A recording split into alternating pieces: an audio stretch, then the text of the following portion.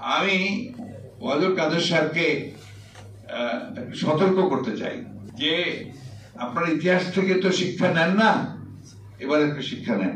মনে করেন উনিশশো চুয়াত্তর সালের কথা তখনও দুর্ভিক্ষ হয়েছিল খাদ্যশস্যের দাম বেড়ে গিয়েছিল। আজকে আবার খাদ্যশস্যের দাম বাড়ছে খাদ্যের দাম বাড়ছে এবং মানুষের হাহাকার শুরু হয়েছে। সেই সময়ে যদি আপনি দেওয়ালে লিখন না পড়েন উত্তর না লিখতে দেন, এখন ওই সমস্ত উল্টো পাল্টা কথা বলে লাভ নাই।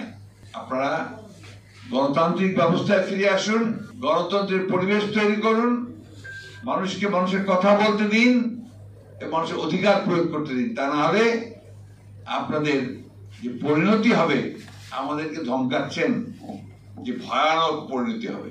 ভয়ানক পরিণতি তো আপনারা দেখেছেন অতীতে। সেই ভয়ানক পরিণতি যেন না হয়, তার জন্য এখন থেকে জনগণের অধিকারগুলোকে ফিরিয়ে দেন। যারা এই দুর্নীতিবাজদেরকে ধরতে পারো না, এই যে ছোট ছোট আড়তদারকে গিয়ে ধরে বেড়াচ্ছ চালের বাজারে গিয়ে, আসল ব্যাপার তো সেখানে নয়।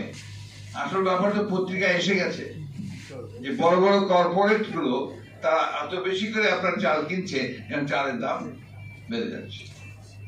বরাবরই তাই হয়।